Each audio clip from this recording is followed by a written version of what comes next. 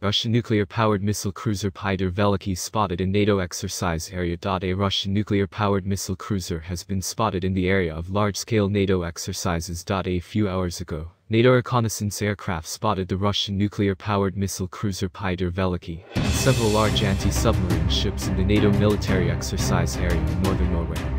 The appearance here of a Russian nuclear missile cruiser and a group of warships was quite a surprise. Pictures taken by a Norwegian P-3C Orion patrol reconnaissance aircraft showed the Russian nuclear-powered missile cruiser Pyotr Veliky and, presumably, the large anti-submarine ship Severomorsk, currently north of Norway heading west. The purpose of the appearance of a group of Russian warships in this region remains unknown, however, the reason for everything could be large-scale NATO exercises just a few hundred kilometers from the Russian borders, in which they take part, according to the alliance. 50 warships. It should be noted that at the moment no provocations have been noticed from NATO, however, experts do not exclude that the alliance can arrange them if Russian warships appear in the area of the military exercises.